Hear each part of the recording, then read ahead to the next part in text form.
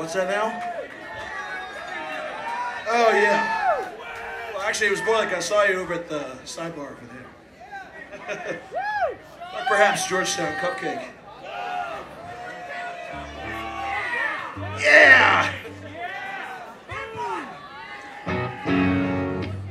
That's a comfortable cupcake at a reasonable price. You consider, like, what, five, seven dollars a reasonable price for a cupcake. But, hey, no offense to any vegan cupcake makers out there. No offense. I like them both. Announce that tomorrow Shawn will be giving free tattoos just to John Stabb. So if you're here tomorrow, come early and watch John Stabb get tattooed by Shawn Brown. Okay. I don't want to touch that. No, no, no, we need tattoos.